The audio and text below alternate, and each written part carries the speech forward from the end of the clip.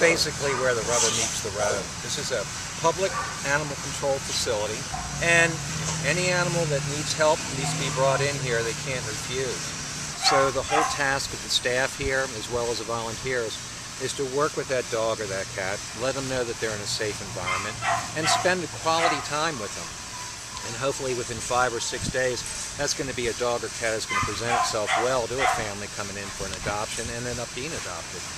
Volunteers play an integral part of sort of filling in the gaps. It's the volunteer program that takes it to the next level. It's the volunteer program who is able to spend the extra time with whatever situation that an animal may exhibit that needs the extra attention in order to make the animal adoptable.